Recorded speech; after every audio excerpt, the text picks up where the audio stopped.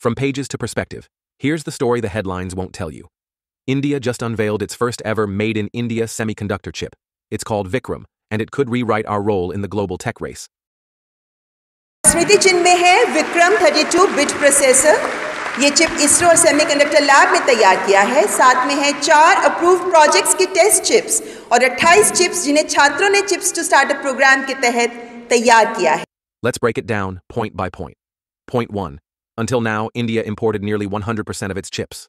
Without them, everything from phones to missiles could literally stop. Point 2.